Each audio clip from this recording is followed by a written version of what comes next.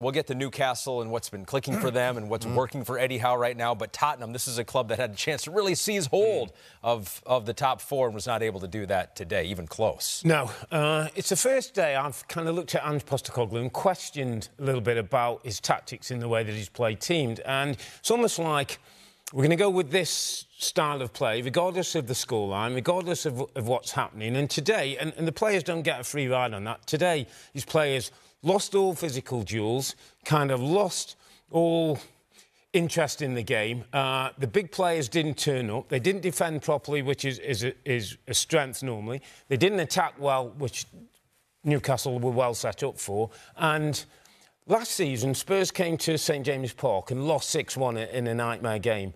This was probably just as bad. The scoreline not quite as much, but a 4-0 loss where they didn't really show anything that, that we've seen is, is, is nearly as bad. Playing too loose? What do you think, Robbie? Just a shocker absolute shocker. You know, philosophies apart, it was a shocker. For their philosophy, I said it, I think, at half time, the football was, was not good enough, which means transitions. Transitions for them is, is when they ask their defenders to defend, because that's the way they do. That's what the manager wants. And when those defenders don't defend very well, then you've got the football part, defensive part. You get a game like today. Plus, by the way, as Robbie said, soft. Soft Spurs and this is the worst uh, performance defeat under with Poch, uh, with Postecoglou, sorry, yeah. at Tottenham. So that's a, a real kind of learning experience for the manager.